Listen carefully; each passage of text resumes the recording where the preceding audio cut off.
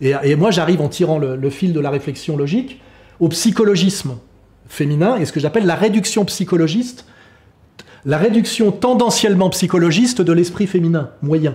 Et pourquoi cette réduction psychologiste, qui est une difficulté d'appréhender le politique pour ce qu'il est, qui peut être la définition du féminisme. Hein, Qu'est-ce que c'est que le féminisme C'est ne pas comprendre la, spécificité du politique. Hein. C'est la réduction psychologique du politique. Et pourquoi le pouvoir a intérêt à pousser les femmes en avant? Pour deux raisons. Moindre coût salarial, moindre solidarité syndicale, ça se vérifie empiriquement, et aussi parce que, étant un peu dans la réduction psychologique du politique tendanciellement, elle a du mal à comprendre les enjeux politiques profonds. Hein voilà. Et ça, j'ai écrit ce livre euh, vers la féminisation en 96 pour dire voilà pourquoi on, euh, on nous donne la parité alors qu'on n'a pas demandé. Tu vois?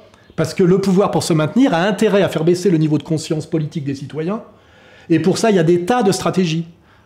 Il y a des tas de stratégies. Le féminisme, l'immigration de masse euh, subsaharienne, euh, la destruction de l'école publique en parlant de sexe aux enfants plutôt que de leur apprendre à lire et à compter, c'est-à-dire euh, quelque part à, accéder par le langage et les mathématiques à la possibilité d'une expression logique et donc d'accéder à la raison.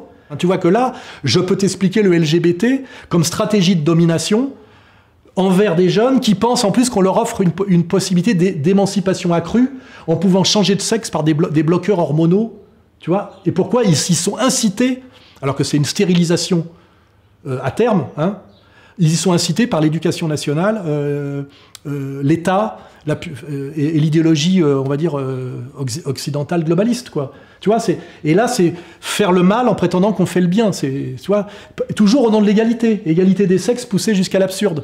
L'égalité des sexes, c'est euh, je n'ai pas le droit de changer de sexe, donc on n'est pas égal face au masculin et au féminin, parce que moi je suis euh, euh, et en plus avec l'idée féministe que le féminin est inférieur, parce qu'en même temps c'est une lutte contre les hommes, mais en même temps c'est vouloir devenir des hommes. C'est toute l'ambivalence que j'ai aussi théorisée du féminisme. C'est que la féministe, pourquoi elle a une dimension agressive et pathologique? C'est qu'elle veut devenir l'homme qu'elle déteste. Parce qu'à la fois, on, lui expliquait qu'être une femme, c'était inférieur, parce qu'elle est obligée de faire les enfants, donc elle est euh, maintenue dans l'animalité. Et donc, elle veut s'émanciper de ça, donc de, euh, ça s'appelle se transcender vers l'être. Chez Simone de Beauvoir, elle appelle ça se transcender vers l'être. Ça veut dire, quand tu traduis en langage concret, devenir un homme. C'est-à-dire accéder au monde masculin.